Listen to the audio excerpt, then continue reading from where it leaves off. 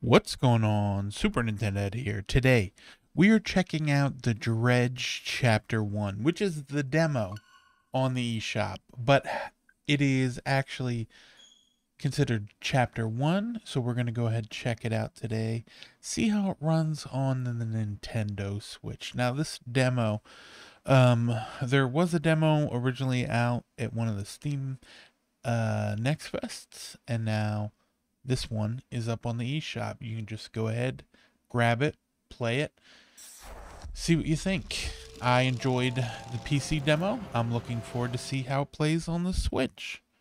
Because I think from what I played, it would be fun to play. Even if I played on the Switch Lite, that'd be enjoyable. But this right here, running on the Nintendo Switch, aka the Switch OLED. Enjoy the video. Oh yeah, make sure you like, subscribe, share, all that jazz. Here we go. We're hopping in.